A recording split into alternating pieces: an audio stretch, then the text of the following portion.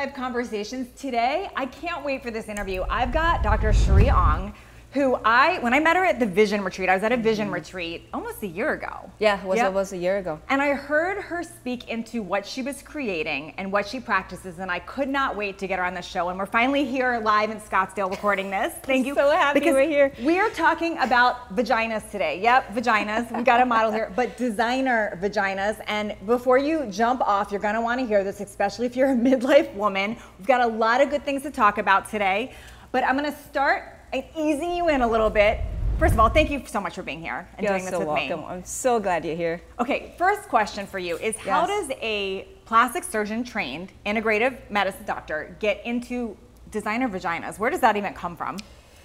That's a really good question. So I spent my, you know, my, my, my background is in plastic surgery. Mm-hmm. And before that, I did trauma surgery. So I did so much in terms of different types of surgeries.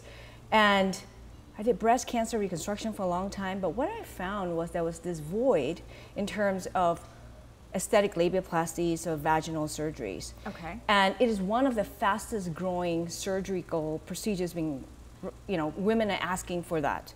400 times increase in labiaplasty surgeries in the last 10 years. So it's one of the highest growing procedures. So what I found was during my training, there were very few people that were really focusing on it. And so when there was an increase in the rise of mm-hmm. these procedures, I found that what an opportunity to really get into the field of really being really, really good at this. Yeah. And being able to get all the all the knowledge and all the training in order to be able to focus on this because it's so important for women, especially in that area. So I want to go deeper here because I know it's one of the fastest growing things. I know you are Yeah. you are known for this. This is your expertise, but so many women hadn't heard of this. They don't understand it. I certainly didn't understand it. Mm. Yeah. I have a lot of questions about this. So let's back up a little bit, especially with midlife women, because that's pretty much who you're seeing, right? Is Yes, that, I would imagine. absolutely. So we're talking like over 40 women, although there could be younger. Mm-hmm. What happens down there? Like, what happens after you have babies? As we go through menopause or changes, like what is happening? What is changing? Just like everything in our bodies, our bodies change. And so whether it's childbirth or normal aging, so you think about the changes it happens in your skin. Your skin get looser, you have loss of collagen, things get a little more saggy. Yeah. So the same thing happens down there. In addition, when you're having childbirth, there's a little bit of mechanical trauma, right? Things get a little bit looser. So a lot of the changes women are looking at, wow, things look different now and now they're having kids they've done having kids. We, we have women that are doing mummy makeovers mm-hmm. right? They want to have the breast and the tummy tucks. Now the thing is what am i going to do my vagina? I don't feel good because i can't do the things i want to do before. For example exercising. The clothes that i wear are just uncomfortable. They don't look the same i'm super uncomfortable having sex. So what happens is women are now more conscious about the area and they mm-hmm. want to do something about it So it's so interesting because as I talk to my friends, we all kind of talk about this Yeah. under that, you know, but it's one of those things that it seems like we're scared to talk to our doctors about it or we're embarrassed by it. And that's this is a big reason I wanted to have you on. Sure. Because I think women are dealing with things like painful intercourse, um, leakage, that's a big one.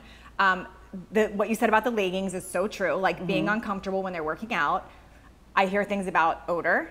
Okay, so I mm-hmm. just want to bring it all out because women aren't talking about this. And then they they think the change of appearance and they say, well, I shouldn't care about that. Like, why should I care about that?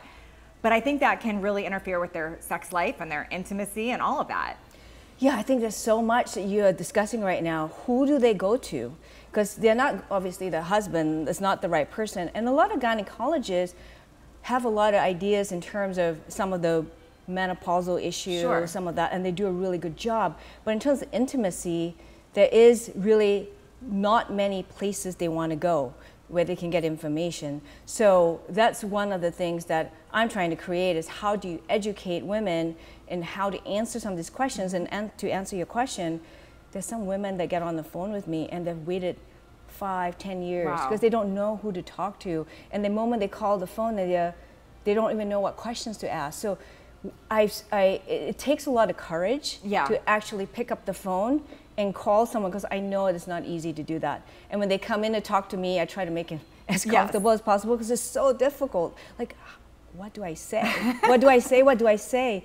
And it's just one of the things that I think a lot of communities, like what you're doing with the podcast and women getting together and discussing it and say it's okay to discuss it would be very important because now we can say now it's normal to talk about these things. Sure. Yeah. Because I think what I want women to know too is if you're self-conscious about something on your body, um, that creates a whole different level of confidence issues, like with your partner, with yourself, like just everywhere. Mm-hmm. And I feel like we we don't have to just dismiss it and say, well, this is that's a private part. Nobody nobody cares.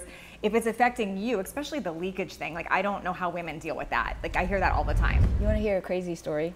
So I had a woman. She's actually a professional woman. She was looking for a date, and every time she went on a date, she would carry a water bottle with her because she would leak all the time. When oh she gosh. laughed, she would just spill the water just because ah. she's so embarrassed. So this is a true functional problem yeah. that women are so embarrassed to talk about, and they will find ways to cover up. And yep. they, how do you go on a date when you have to, you know, change a penny liner, stuff yeah. like that? So it is a true. Yes, and I've had the, I've had the sneeze thing. Yeah. I'm just I, I have the sneeze yeah. thing. Like I'm I'm gonna need to consider. Even okay. if women have not had kids, they oh, can wow. have some leakage, right? So if you have kids, it's even higher. Yes. Yes. Okay, so talk to me about the natural remedy that you'll see on Instagram mm. or on mm. TikTok about Kegel exercises. Is there really something to that? Is that a waste of time? Does that help some? Works if you do it. Just like mm. any exercise. The problem with women is that it, A, they don't know how to do it correctly, and B, they don't find a time in the day to do it. I don't think I've ever done one. I don't even know how to do one. I've just heard of it.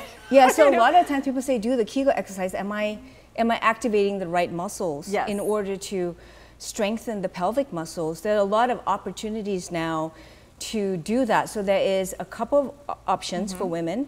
Number one is obviously find a physical therapist that can actually help you, train you, and do it the right way. Okay. Secondly, there are devices out there. One of the devices that um, have been used in Europe for more than mm-hmm. 10 years for this is called the vFit.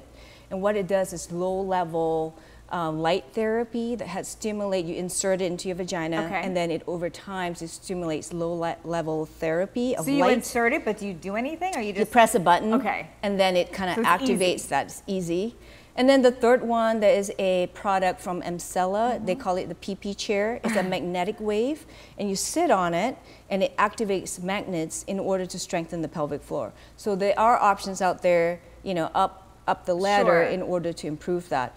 In our practice, I've used radio frequency for a lot of these, and it works because it's radio frequency that stimulates um, collagen remodeling, mm -hmm. strengthening of blood flow to the area, and it helps with that condition as well. So, what's the difference between, like, you said you use radio frequency? Is that a procedure that you would do a few times, or do you have to jump right to surgery? Do you mix them together, or how does how does that work? Where do you even start? So, one of the big questions that women have is tightness. I want to be as tight as possible, right? So there's natural ways to do this, and then there's a surgical way to do this. And I see this maybe at least five patients in my office a week. And do I need surgery or do I need non-surgical? And the way I look at it is there's a variety of questions I ask in terms of symptoms. So okay. someone's very, very loose, uh, where they have air coming in and out of the vagina when they're having sex. Okay. Or they've issues. The noise. The, the noise. noise. the, the keep or whatever it's called. oh, they they have. You know what I'm talking about. Women know this. You they, know they just don't. They're not talking about it. I'm talking about it. Yeah. Okay. So air coming in and out, or if they have difficulty eliminating their, their poop. Okay. Because what happens if you have a, especially if you had larger babies or multiple babies, things are stretched out in there. So the you know, from a medical standpoint, the rectum is, is kind of displaced okay. forward. So, so some of these symptoms, I would go through a series of questions, mm -hmm. and if they have some of these questions, and I do an exam, and it's really loose, then they would need surgical. Got it. And usually, what happens is it ties in with uh, urine incontinence too. So ah. when you have a vagina that's this big, and things are either looser things kind of move around the pelvis. Okay. And so that's when we do surgery. And if through those questionings that they're really not that bad, then we can try to do some of these non-surgical procedures like radiofrequency. And mm. you would need to do a series of them to stimulate regeneration, stimulate collagen. Um, and what we know is radiofrequency is very powerful because even if we put it on your skin, and there's some people that do it for tightening of like the belly and stuff, yes you can get they get better in terms of their urine incontinence. So we oh, know wow. these technologies go really deep deeper into the pelvis to stimulate contraction. Okay, so when women and, and I I share about different creams and things from from gynecologists, um, some and that help tighten. Like, how much can those actually tighten versus coming in and doing something like this? And do you recommend using that together? The, the creams really help with the lining and it helps with the moisture. Okay. So uh, we look, I look at it differently. One Sure. is the pelvic floor and the muscles, and one of the creams is more of the lining.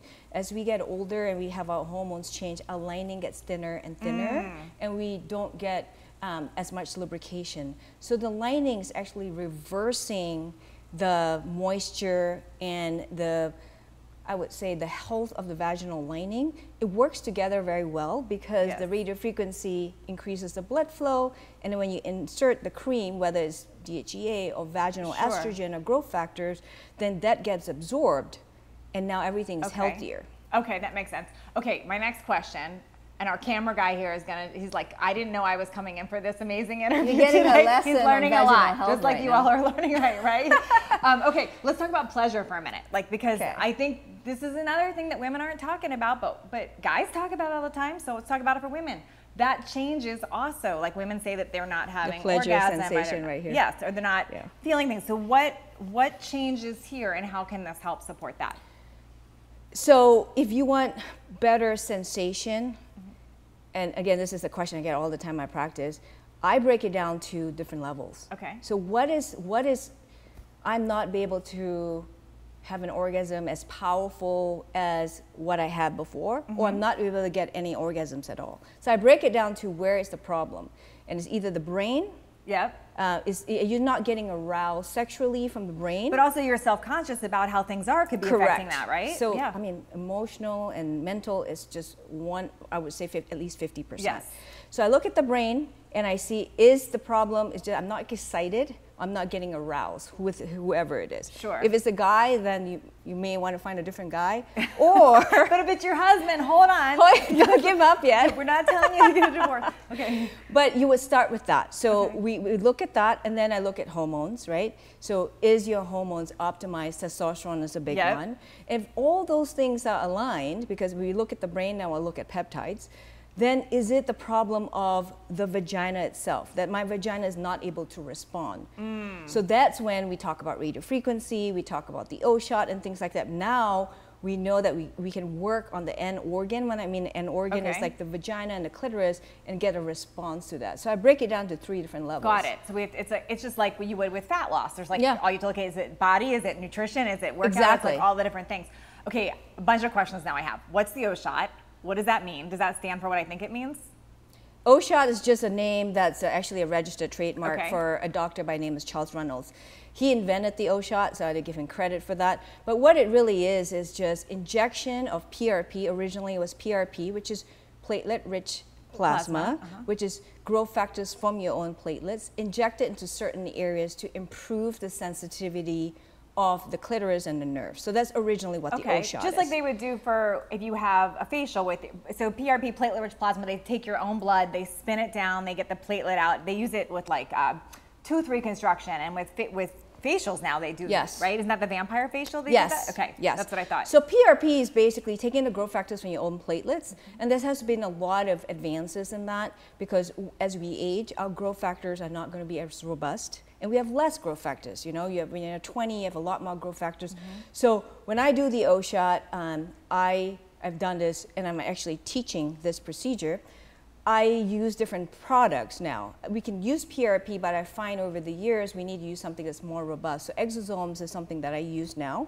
Um, it is it is more robust in terms of the growth factors, and they don't need a blood draw. And I found results that are much much better compared to PRP because it's we it can't be uh, we don't know how much Mm-hmm. growth factors you have in your blood. It's so funny. I feel like I'm, I could be having this exact same conversation about somebody that does facial work. Yeah, we're same. talking about vagi- It's so funny. Yeah. Okay, for my audience that doesn't know what exosomes are, can you explain what that is? So exosomes are basically signaling molecules. So what it is is growth factors that call your own stem cells to the area to stimulate regeneration. Okay. So your body normally has exosomes. So if you cut your knee, Right. then what would happen is, oh my gosh, that's an injury. Let the, the cells will produce these growth factors. They're signaling molecules to call your stem cells to stimulate re- regeneration.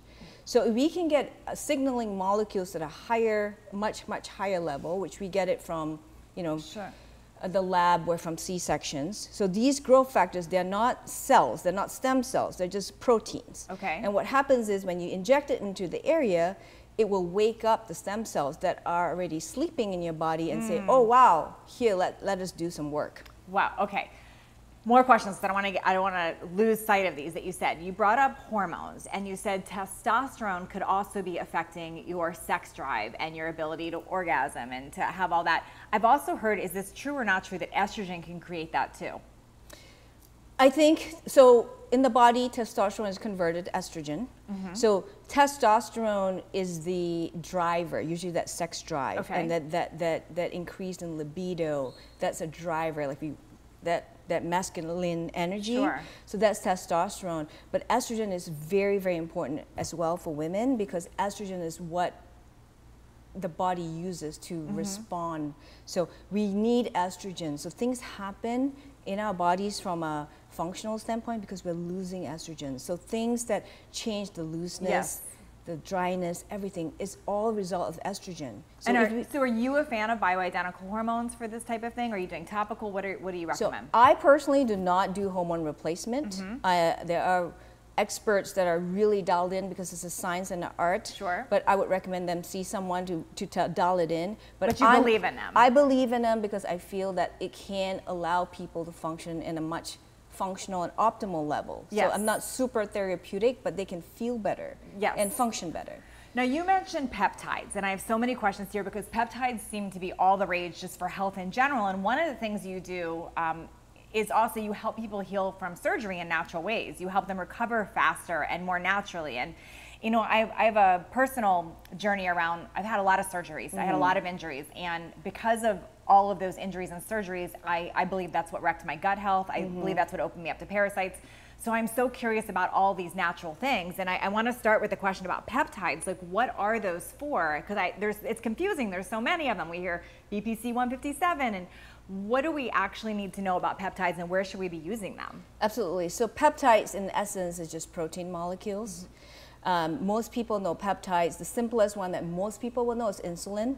So insulin is a peptide, it's a series of proteins, and it tells the body to do something. So insulin says when your body has um, high sugar, Yep. is produced to drive the sugar into the cells. So in our bodies, there's thousand. We can't even count the number of peptides that, that we Okay. have. Thousands and thousands of Just peptides. naturally have- Naturally happens.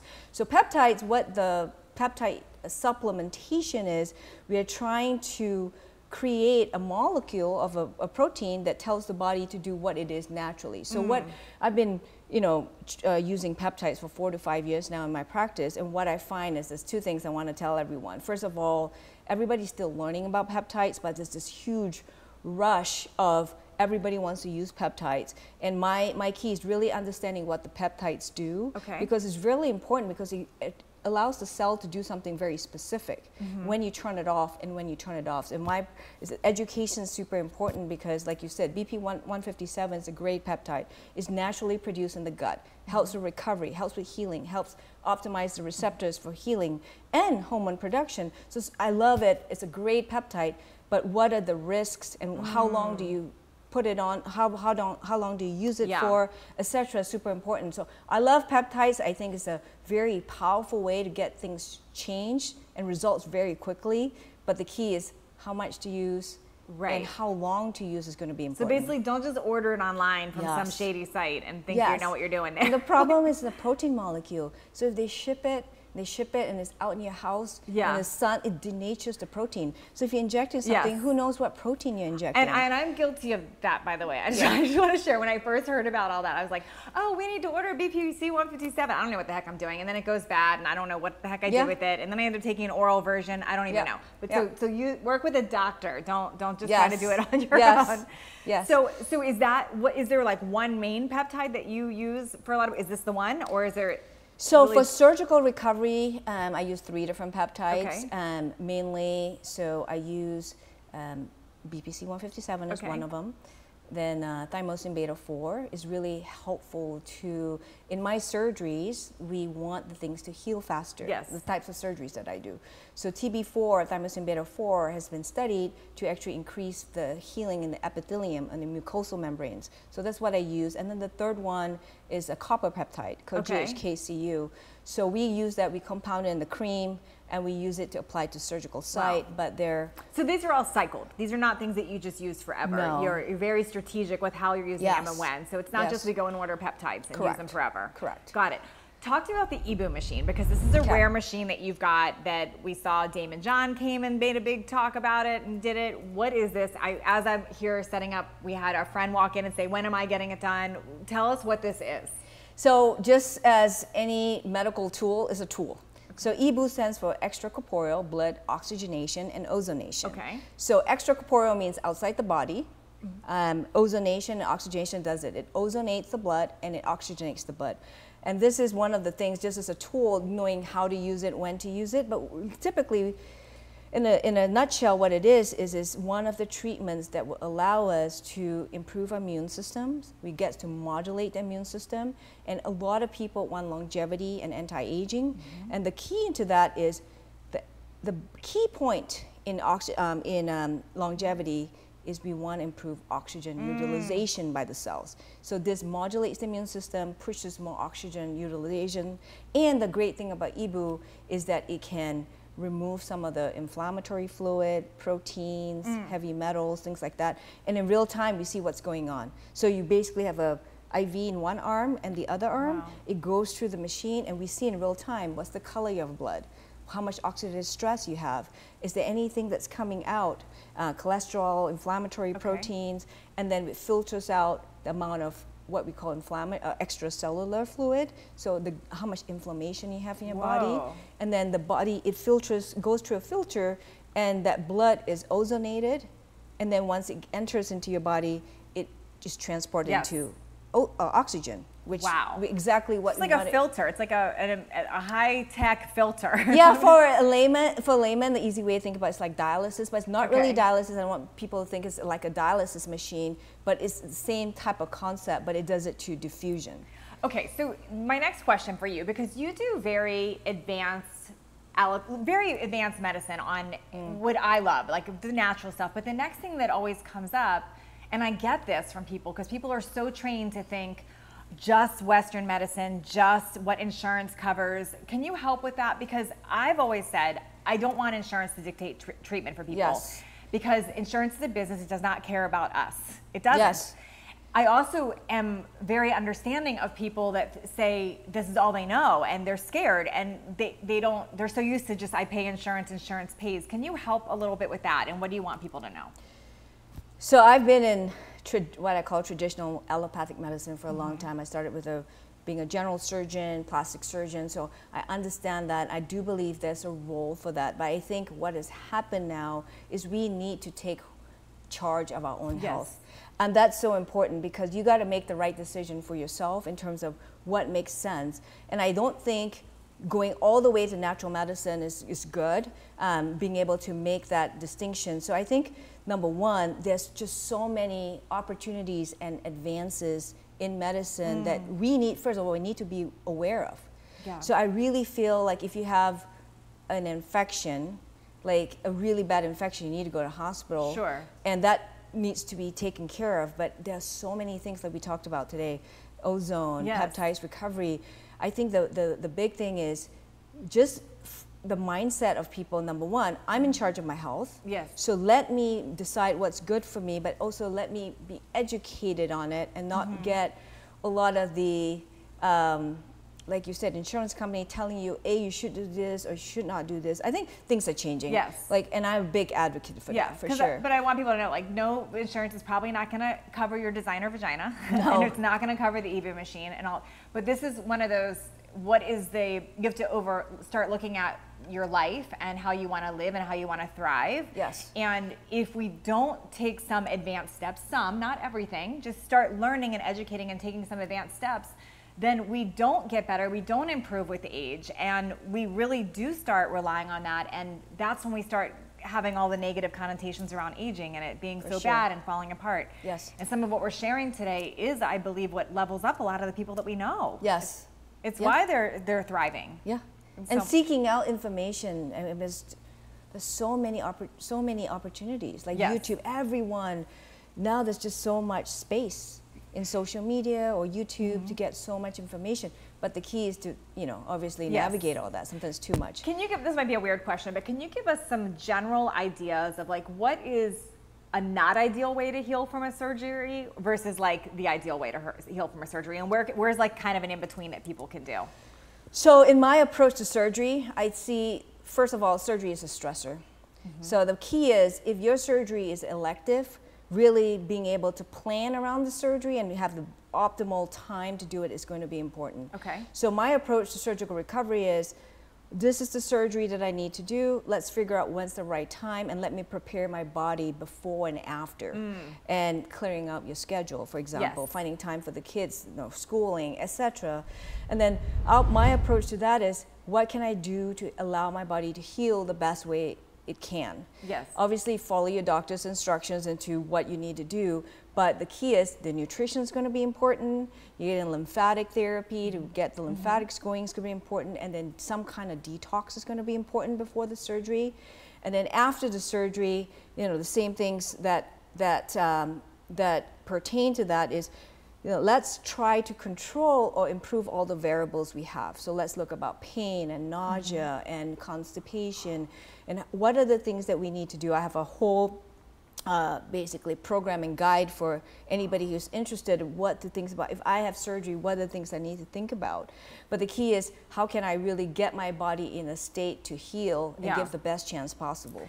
How dangerous, and maybe you are a fan of them or not, how dangerous is it when people are just taking a lot of NSAIDs or uh, painkillers to heal? Um, I, I think some people will just use that for, for pain control. Uh, short term, I don't think it's a bad thing, uh, but there are many things that we can actually do to reduce pain. Rather than go with narcotics and NSAIDs. Yes. Short term, I mean, long term, you know, NSAIDs, kidney, liver issues, and then narcotics, there's potential for, besides just constipation and things around, obviously addiction down Big- the road. yeah. So we want to be able to, uh, the, again, when you talk about natural stuff, there's tons of natural stuff we can do to reduce pain. Mm. And then one of the things I really love, and this is a tip for anyone having surgery, is uh, there is a product called Exparel, Okay. and it's a long-acting liposomal like Marcaine, which is a Oh. local anesthetic that your surgeon can ins- inject in your site that lasts Oh, wow. 72 hours. So I I, do that in all my surgeries. Why not? Like Yeah, let's get the pain no control. pain. Yeah, that's for amazing. 72 hours. For some reason, I think when I tore my bicep, they did that to me. I Yes. remember that because I felt nothing, and then all of a sudden I was like, okay, wait a minute, Yes. now I feel everything. Yes, yes. Well, gosh, this has been fascinating. Okay, so listen. Now you know about designer vaginas. you know about. It doesn't actually look like this, but I like the model here. Yes. Um, she she is the you're like the leading world expert with this. You are. People come from all over to get there. Anyways, you we're gonna link up all of her information below if you want to have a consult about this. I think this is fascinating. Or you want to learn about any of the other stuff that she does, like the EBOO machine and some of the advanced. Uh, I call it biohacking. Is that even the right word for it? I think that's a word that people I think. Dave started that word, Yes. but, but he, he branded that and we Yes. know it. But Yes. for any of the advanced stuff, she's located in Scottsdale, Arizona. This has been so fascinating today. Thank you so much Thank for you. doing this. Yes, thank you. thank you.